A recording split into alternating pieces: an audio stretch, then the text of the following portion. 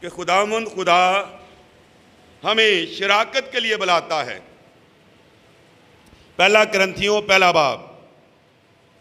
उसकी नामियत सफ़ा एक सौ चौवन है। आज का सवाल है, वो हमें बुला रहा है, लेकिन क्यों बुला रहा है? नंबर वन, वो आराम देने के लिए बुलाता है। नंबर दो, वो क्यों बुलाता है? नामियत खुदा सच्चा है। यानी जो बुला रहा है, वो सच्चा है। और तुम सच्चाई से वाकिफ होगे तो सच्चाई तुम्हें क्या करेगी? आज़ाद करेगी। खुदा सच्चा जिसने तुम्हें अपने बेटे, मारे खुदामंद यसु मसीह की शराकत के लिए बुलाया है। तो खुदामंद, खुदा मुझे और आपको क्यों बुलाता है? शराकत के लिए बुलाता है। कि मैं और आप क्या करें? उसके उसके घराने में शरीक हो जाएँ। हेलो लुया खुदामंद खुदा, हमें क्यों बुलाता है? ताकि हम उसमें उसके ख़ानदान में शरीक हो जाएँ। वो इसलिए बुलाता है कि मैं और आप उसके बदन का एक अटूट अंग बन जान जाए। हम उसमें कायम हो जाएँ। वो हमें शराकत के लिए बुलाता है। और जब हम उसके, उसमें शरीक हो जाते हैं तो वो, हम उसके बदन का हिस्सा बन जाते हैं। जब हम उसकी शराकत में आ जाते हैं तो मैं और आप तारीकी में से निकल कर नूर में आ जाते हैं, रोशनी में आ जाते हैं। हम उसके बेटे और बेटियाँ बन जाते हैं। तो लिहाजा वो हमें क्यों बुलाता है? इसलिए बुलाता है कि हमें सुकून देने के लिए, आराम देने के लिए। वो इसलिए बुलाता है कि हम उसके हिस्सेदार बन जाएँ, उसकी शराकत में आ जाएँ। जो उसकी मेरास है, जब हम उसके शरीक हो जाएँगे तो जो कुछ यस्सु का है, वो मेरा और आपका हो जाएगा। क्या ये छोटी बात है? कितनी बड़ी बात है। जोरदार तालियाँ खुदा के जलाल के लिए। जो यस्सु का है वो मेरा और आपका हो जाएगा। तीसरी बात, वो हमें क्यों बुलाता है? शिफा देने के लिए बुलाता है। मरकज दस बाप उसकी उनचास है तीसरा पॉइंट।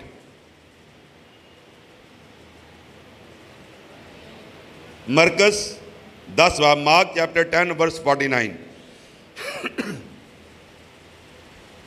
यसु ने खड़े होकर कहा, उसे बुलाओ। बस उन्होंने उस अंधे को ये कहकर बुलाया कि खातर जमा रख, उठ, वो तुझे बुलाता है और वो अपना कपड़ा फेंक कर उछल पड़ा और यस्सु के पास आया। यसु ने उससे कहा, तू क्या चाहता कि मैं तेरे लिए करूँ? अंधे ने उससे कहा, आए रबूनी, ये कि मैं बीना हो जाऊँ। तीसरा पॉइंट ये है कि वो मुझे और आपको क्या करता है? बुलाता है। क्यों बुलाता है? ताकि मैं और आप क्या पाए? शिफा पाए।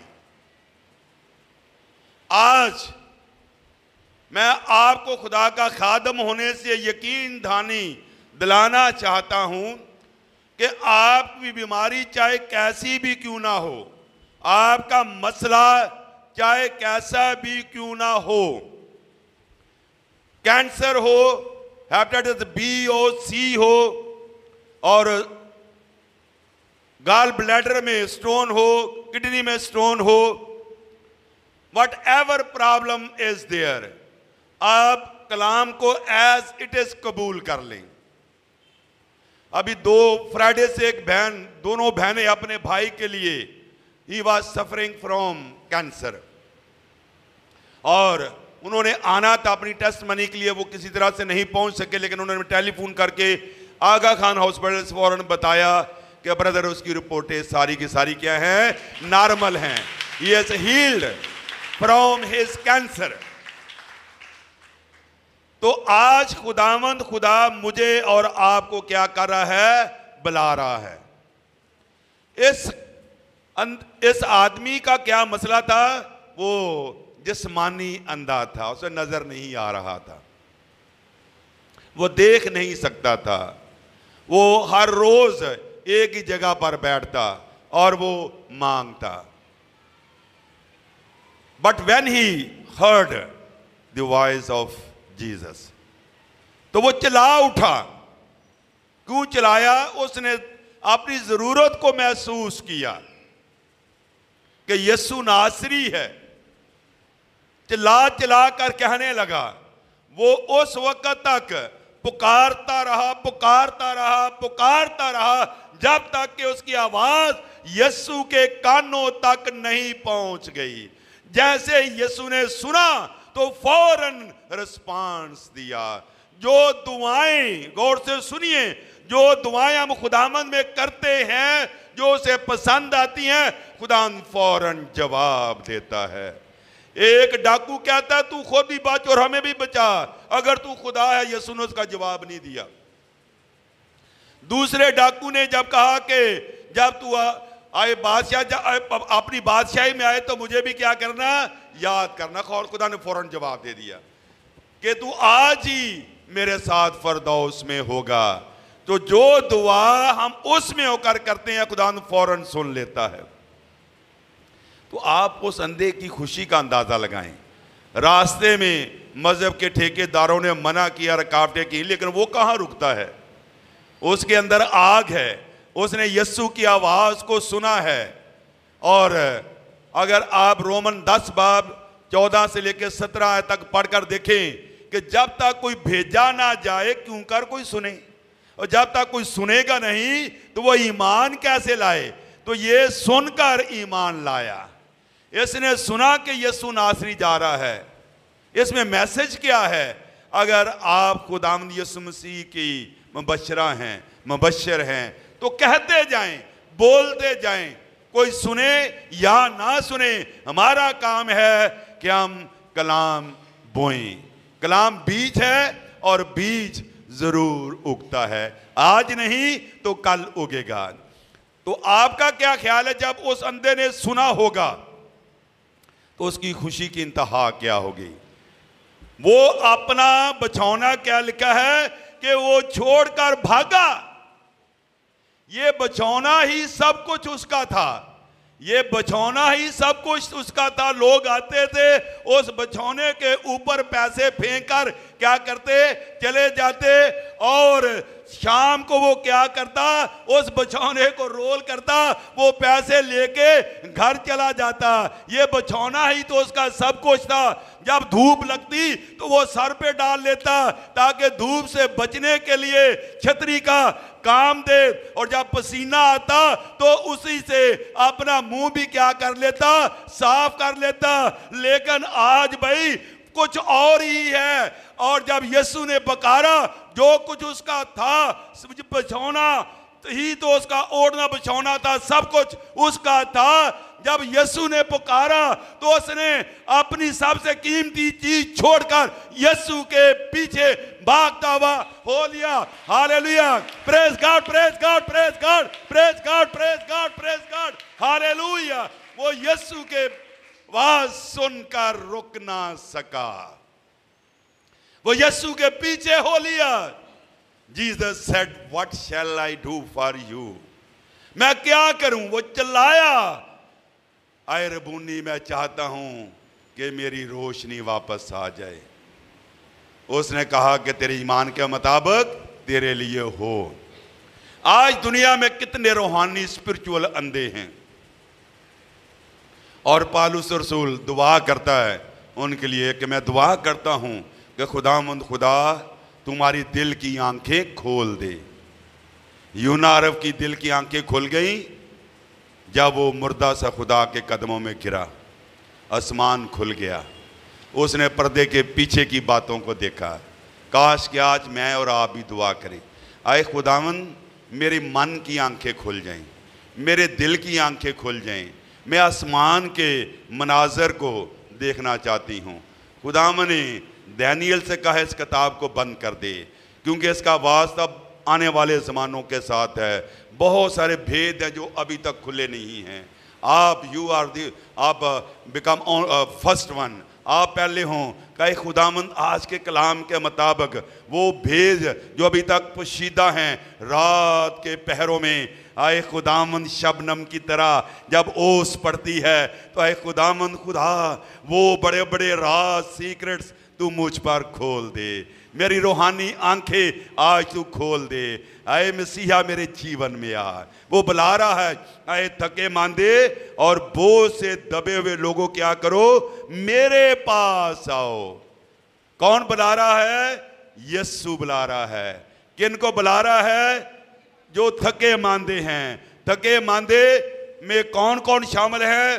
तमाम मसीही, तमाम मुसलमान, हिंदू, सिख, हर मज़हब के लोग इसमें शामिल हैं। जितने इस प्लानट में हैं, खुदा उन सबको बुला रहा है। ये बुलाहट आलमगीर है, क्योंकि गुनाह आलमगीर है।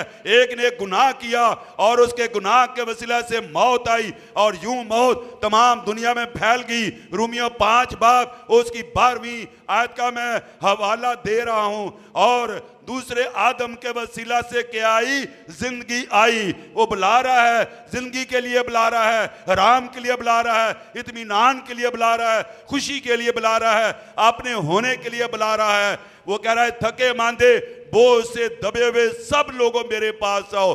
आज गैर अकवाम कलाम में लिखा है कि बहुत सारे लोग बाहर से आकर गैर कौमे खुदा की बादशाह में दाखिल हो जाएँगी। और बादशाही के फरजान बाहर अंधेरे में डाले जाएँगे।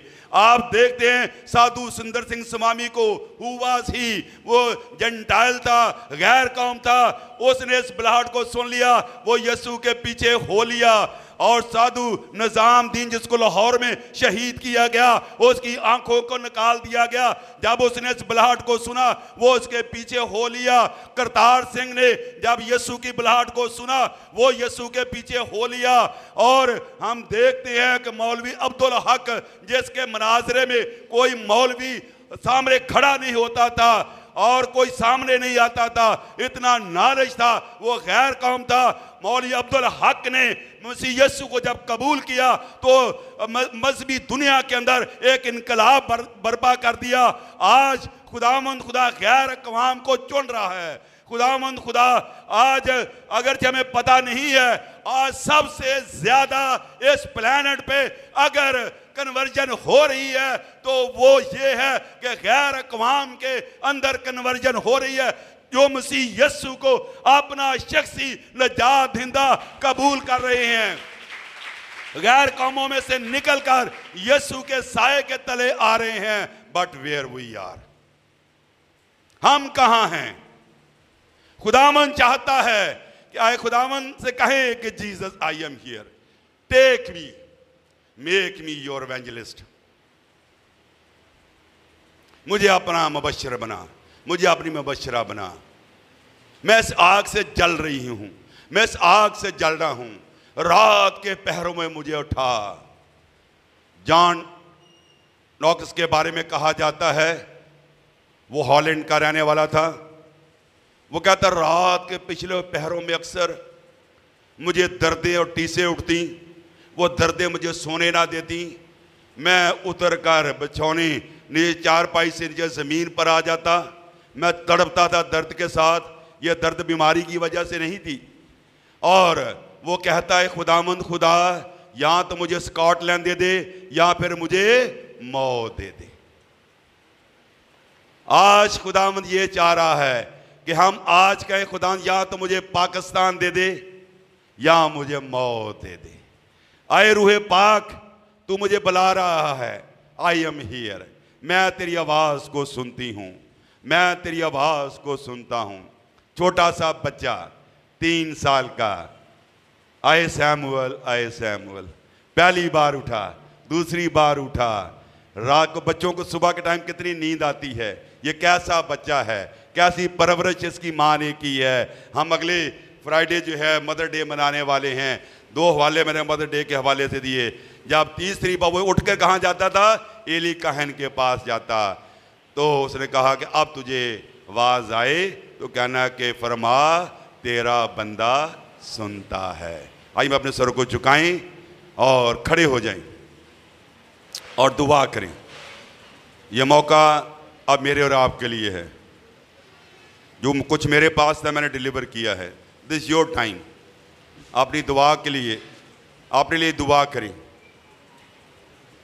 ही इज़ स्टिल कॉलिंग जब तक हम दुनिया में हैं, वो मैं बुलाता रहेगा। हम पोस्टपोन करते रहते हैं जीसस की बुलाहट को।